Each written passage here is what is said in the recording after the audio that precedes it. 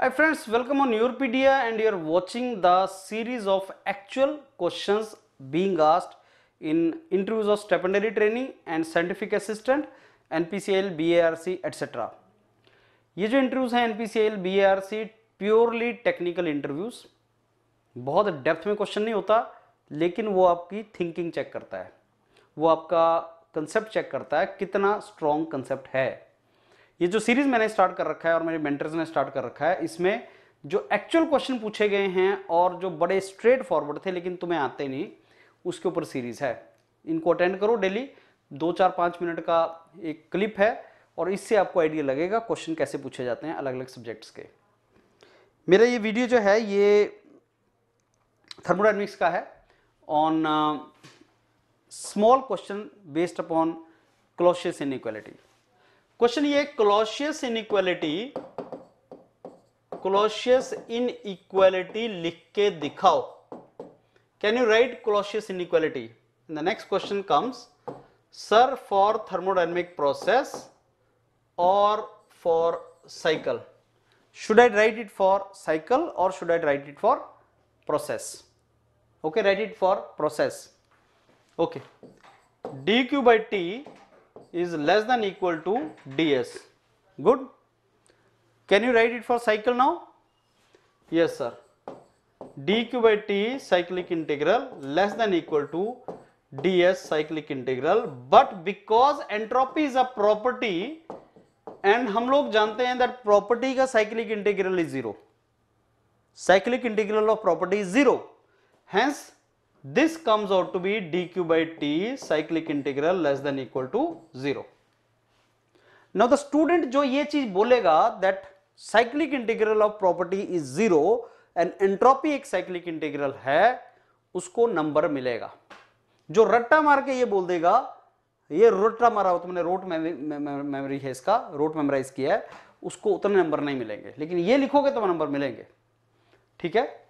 अब प्रोसेस दो तरह की होती है साइकिल भी दो तरह का होता है। अगर मैं इसको रिवर्सिबल ले लूँ और इरिवर्सिबल ले लूँ तो d q by t will be equal to d s and this will be d q by t less than equal to d s for reversible equal to d s तो जब हम बोलते हैं d q is equal to t d s this is the second law for reversible process second law for reversible process equation of second law for reversible process. Can you write equation of second law? Equation of second law for reversible process. Can you write equation of second law for reversible process? Answer is yes sir, dq is equal to tds. Every student know how to write equation of first law for process but they do not know how to write equation of second law for reversible process. So this is the equation of second law for reversible process. Now can you write equation of second law for real process? Listen this question carefully. Can you write equation of second law? Can you write equation of second law for real process? That means real process is irreversible process. वो तो irreversible process होती है real process is friends irreversible process तो can you write second law of thermodynamics for real process वापिस चलो yes d q by t less than d s but this is not equation this is inequality less than sign क्या है? ये तो inequality है। उसने क्या बोला? उसने तो तुम्हें प्रोसेस लिखने इक्वेशन लिखने के लिए बोला। तुम इनइक्वालिटी लिख रहे हो। उसने तुम्हें प्रोसेस बोला, तुम्हें इनइक्वालिटी लिख रहे हो।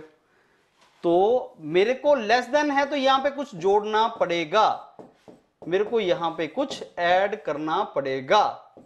Then only I can write this equation so sir this is entropy generation. This is entropy generation. And how do you calculate entropy generation? ds generation is nothing but delta s universe which is nothing but delta s system plus delta s surrounding